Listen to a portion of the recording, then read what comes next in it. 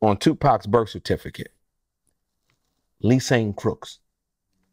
Your name is William Lesane.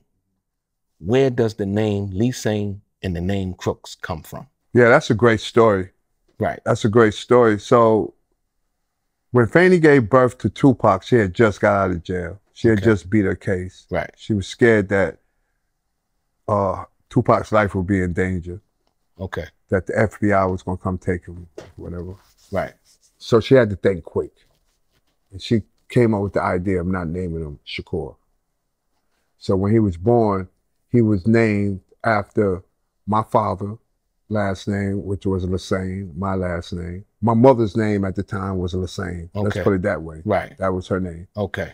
And um, so she was named after my mother. He was Right. named after my mother. Okay. Uh, and then Crooksy. Carol Crooks is uh was this lady that was Fanny's real good friend at the time. She was like her best friend. Okay.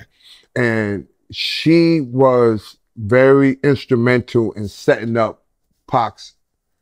When he came home, Mhm. she set up, she turned his room in our house. Mhm. Like he came home to our- my mother's house. Right. She set up their bedroom to look like a nursery Okay.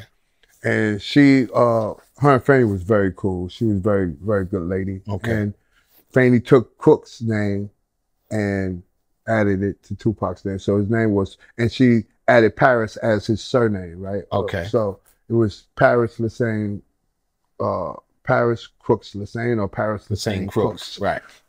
When he got home, after about six months, she changed his name again Okay. to Pocky. Tapaki. Okay. Pocky, right?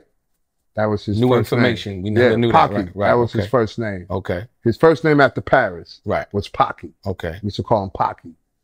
And then she changed it to Tupac. And she made that uh, official. So it became Tupac Shakur. And I think he was one or two years old when she did that. Wow. Wow. Very interesting.